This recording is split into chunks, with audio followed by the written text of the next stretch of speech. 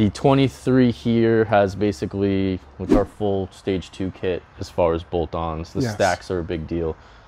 they're pretty too. We got the nice red ones. They're gorgeous. Yes, they're anodized, the highest quality basic that you can find. And we're gonna do a baseline with these modifications, show people the numbers, and then we're gonna load our product, which gets rid of some very extreme throttle limiting that the previous bikes didn't have. So it's gonna be it's gonna be a big deal. People are gonna want to buy this bike.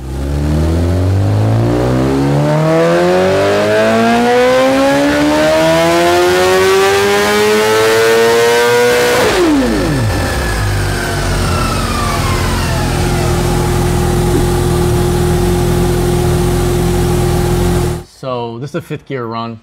You can see two things. We can just go over real quick. Okay. Big dip right here. Yes. Um, there is a throttle closure on this bike, even in fifth gear in this area. And as you can see, the bike goes severely lean if you want to tuck down a little bit further. Very lean there. Okay. Yes. And the other thing that the 23s have is this massive throttle closure up top. Oh boy. The M's have it, the single R's have it. At about 12.5, they start shutting down big time. Yeah. We're going to fix that. Oh, please do. And, as, and as of right now, we believe, from what we've seen, we're the only people that can fix it.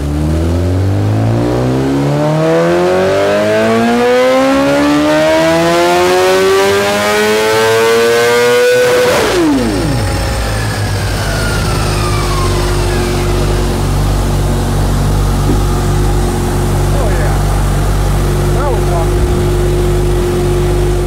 198 horsepower. I like that number. Yep, so we had 170, 178, 51, and then this is fifth gear. Uh, replaced again, you can see the gains are, are massive. Yes. You have that dip that we talked about is, is sorted. Yes. Um, it's gone from 92 horsepower to 110. Basically have gains everywhere. And Yes. this- And this is with the parts already installed. Um, what's most important, as we talked about, is this dip right here. So yes, you only have a 20 horsepower gain at peak, which is people focus on this number. yes. Well, let's talk about this throttle closure dip that these bikes have. Um, you now have a 30 horsepower gain at 13,000 RPMs. I see that. That's Look at that.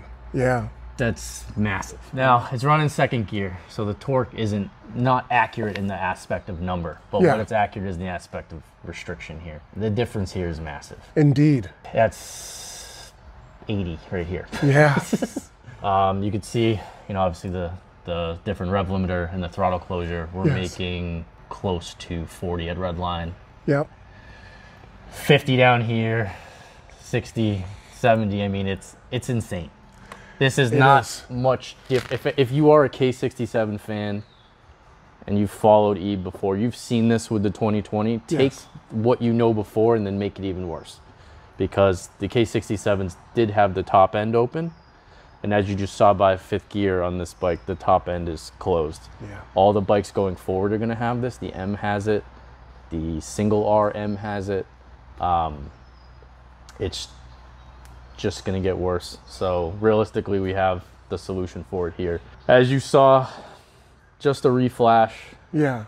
no parts, nothing changed. 30 horsepower gain, the higher RPM, 20 peak, 15 to 20 down low. I mean, it's it's it's even better than the K67. And the rideability's improved greatly. incredible. This Yeah. bike as a whole, in my opinion, is better. It has a better quick shifter. It has better throttle maps. I mean, they've refined this bike. It feels it feels closer to like what a Tune 20 does, but with the restrictions. I mean, this bike is just another level out of the box. You just have to get this done. Yes.